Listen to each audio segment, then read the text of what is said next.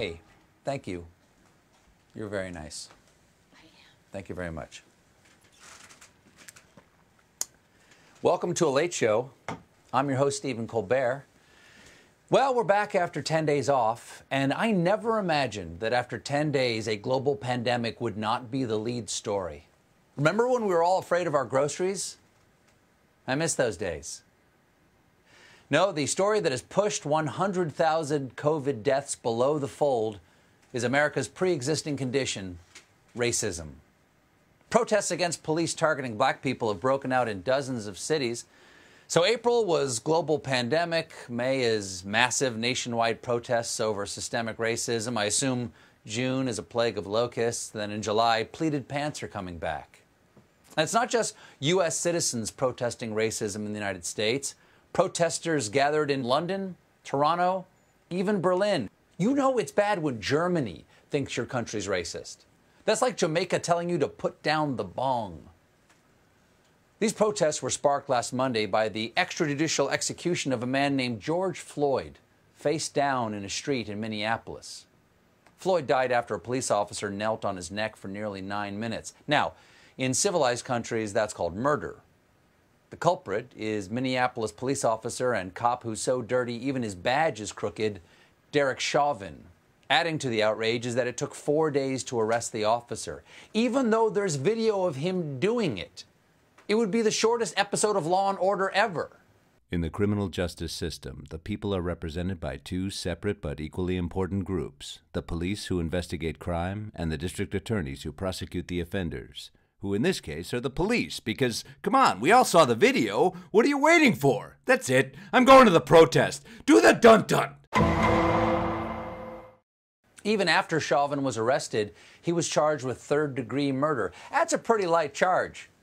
That's like prosecuting Jeffrey Dahmer for a bad case of the munchies.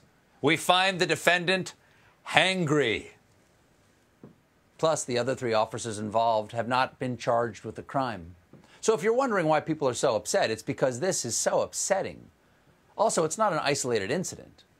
On the very same day that Floyd was killed, there was another viral video of a white woman named Amy Cooper who was confronted by a black bird watcher who asked her to put her dog on a leash in Central Park and she responded by doing this. Please, please call the cops.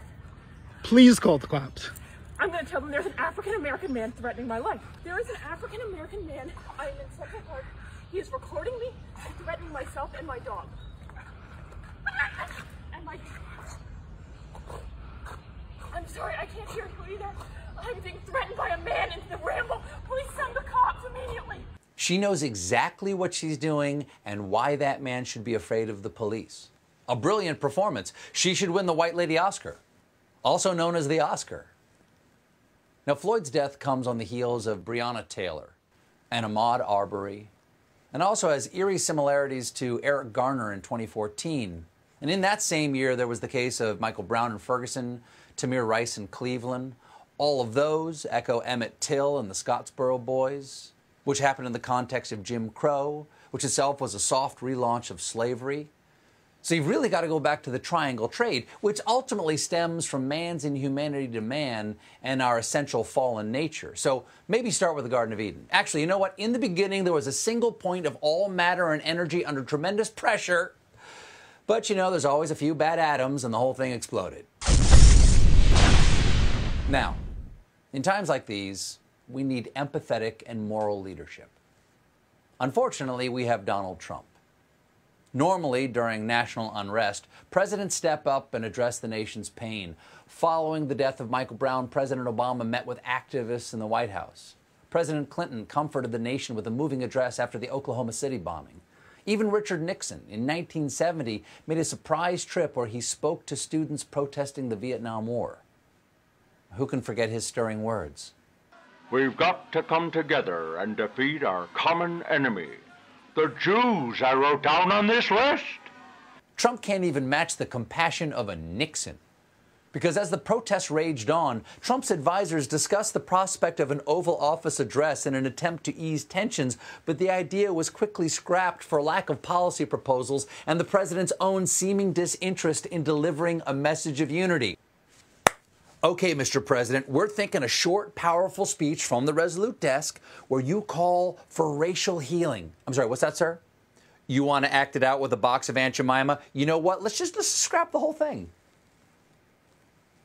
Today, Trump had a call with the nation's governors to discuss the ongoing protests, and he read straight from the authoritarian playbook. You have to dominate. If you don't dominate, you're wasting your time. They're going to run over you. You're going to look like a bunch of jerks. Wise and comforting words. It reminds me of what Mr. Rogers said about times of tragedy. Look for the dominators. Oh, won't you be? Oh, you will be my neighbor, you jerk. That was Mr. Rogers dominating someone. Then Trump said something really scary. You got to arrest people. You have to try people. You have to put them in jail for 10 years, and you'll never see this stuff again. So people are upset about systemic racism and a society that over polices and imprisons black people, and Trump's solution is to do more of that? Well, you know what they say those who refuse to learn from history are Donald Trump. So Donald Trump is the big tough guy going to dominate the opposition. Pew, pew, pew. So naturally, on Friday, as protests raged nearby, Trump took shelter in the White House bunker. Well, if history has taught us anything, is that things always work out well for strong men who retreat to underground bunkers. Mr. President, come on, this is your moment. You're always calling to beat up protesters at your rallies. You could shut this whole thing down, just pop a couple of hydroxys and come out of the White House swinging a five iron with a Confederate flag taped to it. But instead, he tweeted, Great job last night at the White House by the U.S. Secret Service. They were not only totally professional, but very cool. I was inside, watched every move, and couldn't have felt more safe. Adding, nobody came close to breaching the fence. If they had, they would, dot, dot, dot, dot, dot, dot, dot, have been greeted with the most vicious dogs and most ominous weapons I have ever seen. That's when people would have been really badly hurt, at least. Many Secret Service agents just waiting for action. We put the young ones on the front line, sir. They love it. I don't know why they're not letting him give that reassuring speech from the Oval Office. My fellow Americans, let me send a clear message to the people protesting police brutality. Law enforcement is just a bunch of cool guys who cannot wait for things to get crazy. They see you as target practice, and I would truly enjoy watching you get eaten by vicious dogs. Now let's all come together in peace. Come by guns, my lord. Come by guns.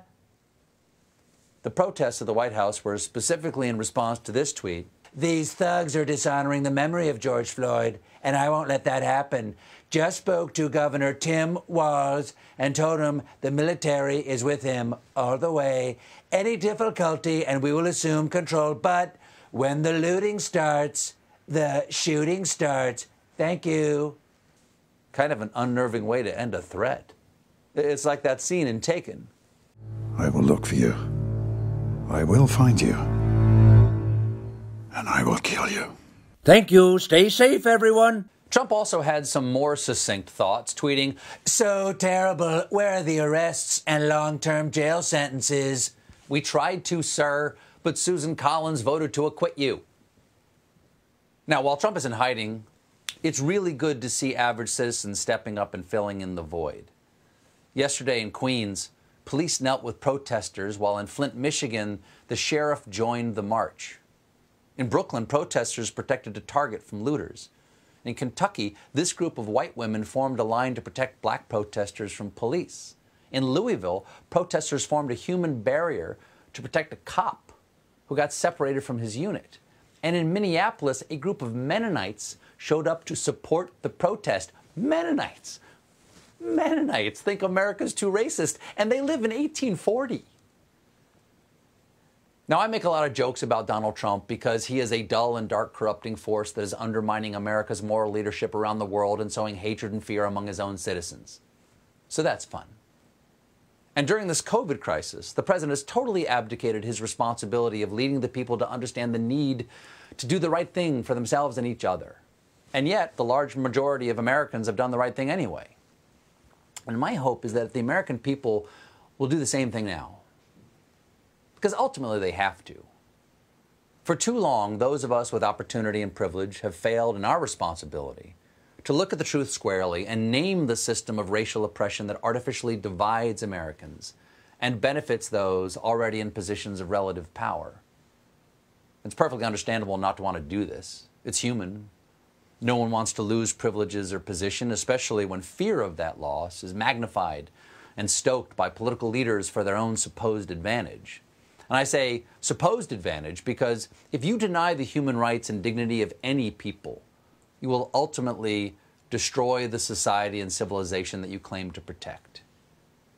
58 years ago, John Kennedy said, Those who make peaceful revolution impossible will make violent revolution inevitable. Not only is addressing systemic racial and economic injustice the right thing to do, it is the safest, most conservative, most self protecting, most self serving thing to do. Contents under pressure will eventually explode, and that's not a threat, that's a law of nature. So it's time to ask ourselves, as it is always time to ask ourselves, what kind of nation do we want to live in?